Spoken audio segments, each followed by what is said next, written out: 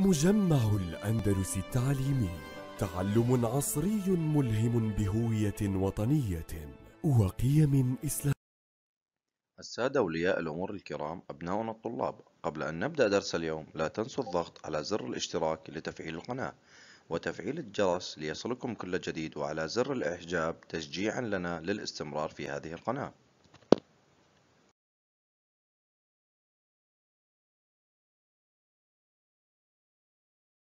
بسم الله الرحمن الرحيم والصلاة والسلام على أشرف الأنبياء المرسلين دروس التعلم عن بعد يسر قسم الرياضيات بمدرسة الأندلس الابتدائية الخاصة للبنين أن يقدم لكم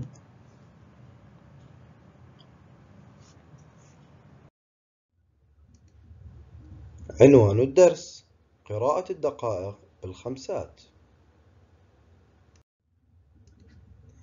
تهيئة تقويمية. العد بخمسات. هيا يا طلابي الأعزاء نبدأ العد خمسة. عشرة. خمسة عشر. عشرون. خمسة وعشرون. ثلاثون. خمسة وثلاثون. أربعون خمسة وأربعون التهيئة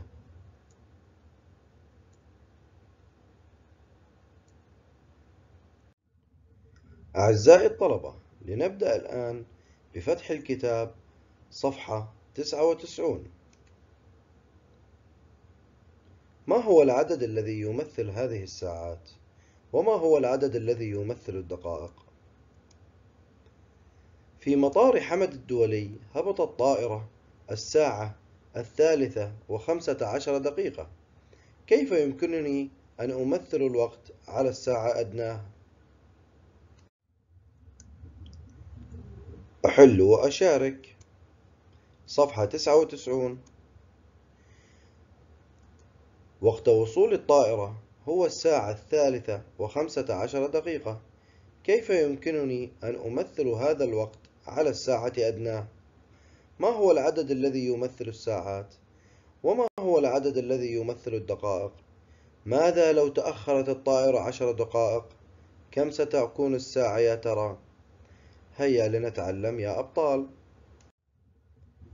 الجسر البصري هيا يا أعزائي الطلاب لنتعرف على الساعات يوجد لدينا في الحياة بأكملها ساعتين وهي الساعة الأولى وهي ساعة العقارب وهي كما في الصورة.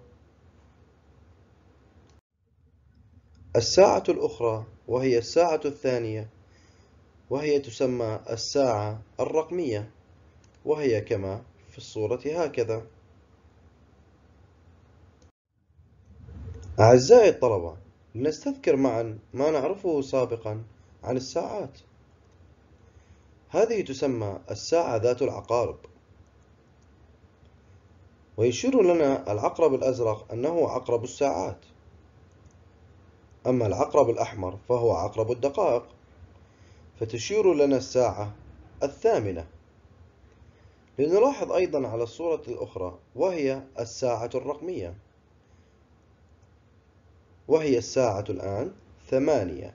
إذا ثمانية صفر وصفر أي تعني الساعة الآن ثمانية. هيا نلاحظ كيف يتحرك عقرب الدقائق. يتحرك عقرب الدقائق من علامة إلى أخرى كل دقيقة واحدة. وما يبين لنا في الصورة الأولى العقرب الأحمر على الرقم 12 ثم اتجه العقرب الأحمر إلى رقم واحد أي يعني خمسة دقائق. من 12 إلى واحد أي يعني خمس دقائق. يتحرك عقرب الدقائق من عدد إلى آخر كل خمس دقائق. لقراءة الوقت أعد الدقائق بالخمسات. ثمانية وخمس دقائق. أحسنتم. هيا نحدد الوقت بكتابة الأرقام على الساعة الرقمية. تبين لنا الساعة الآن هي ثمانية. إنه السهم الأزرق. أحسنتم إنها ثمانية. ثمانية والدقائق لنحسبها. هيا يا أبطال. خمسة. عشرة. خمسة عشر. عشرون. خمسة وعشرون. ثلاثون. خمسة وثلاثون. إذن الساعة الثامنة وخمس وثلاثون دقيقة. أحسنتم. كما ترون يا أعزائي الطلاب تشير كلتا الساعتين إلى ثمانية وخمس وثلاثون دقيقة.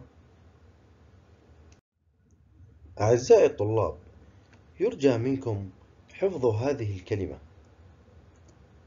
أنه يوجد لدينا ستون دقيقة في الساعة الواحدة. أيضا يا أعزائي الطلاب عند تمام الساعة نبدأ مجددا بعد الدقائق. أي يعني عندما تنتهي الساعة نبدأ مجددا بعد الدقائق لنحصل على الساعة الأخرى. هيا يا أعزائي الطلبة ماذا استنتجنا اليوم؟ نستنتج مما يلي. يمكنني العد بالخمسات لقراءة الوقت.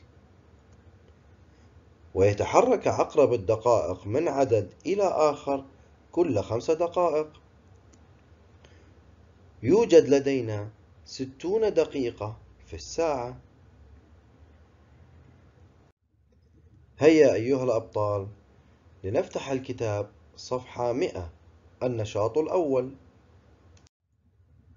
هيا يا أبطال. التدريب رقم واحد صفحة مئة. تدرب موجه. أحدد الوقت برسم العقارب أو كتابة الأرقام بحيث تظهر كلتا الساعتين بنفس الوقت. يبين لنا في الصورة الساعة الأولى وهي ساعة العقارب أي أنها تعني بساعة رقمية. الساعة السادسة وخمسة وأربعون دقيقة. أحسنتم. هيا يا أبطال لنتوجه إلى التدريب الثاني. يبين لنا الصورة الآن. أنه في الساعة الرقمية تشار الساعة إلى ثلاثة وخمسة وعشرون دقيقة. لنضعها في ساعة العقارب. ثلاثة وخمسة وعشرون دقيقة. أحسنتم. لنكمل يا أصدقائي. التدريب رقم ثلاثة. تشار لدينا الساعة العقارب أنها الساعة الثامنة. هيا لنكتبها على الساعة الرقمية.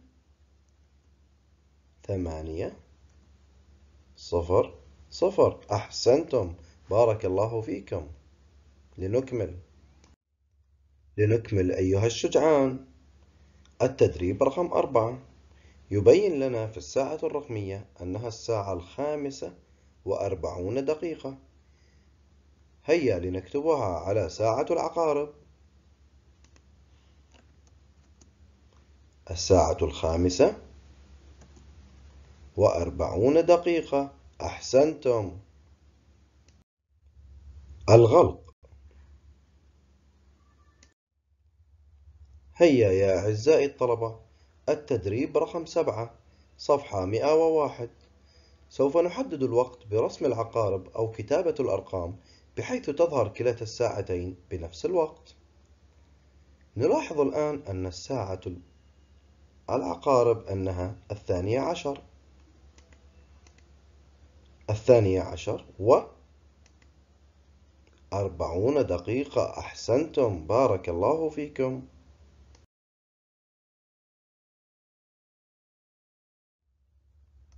هيا يا أعزائي الطلبة والآن حان وقت الواجب.